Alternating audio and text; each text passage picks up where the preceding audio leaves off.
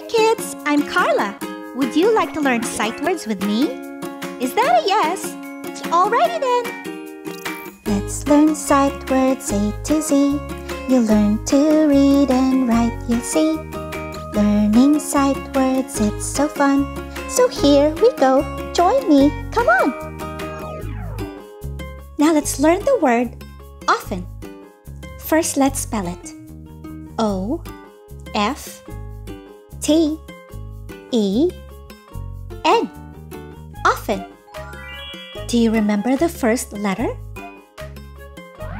Oh, that's correct. Do you remember the last letter? Yep, it's N. And here's a challenge. Do you remember the middle letters? Did you say F T E? You got it. Now let's read the letters together.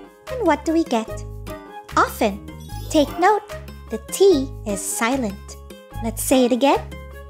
Often.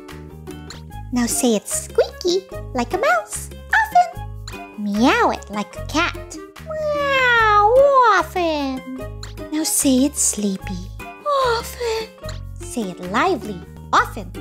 Finally, say it like it's your favorite word in the whole wide world. Often.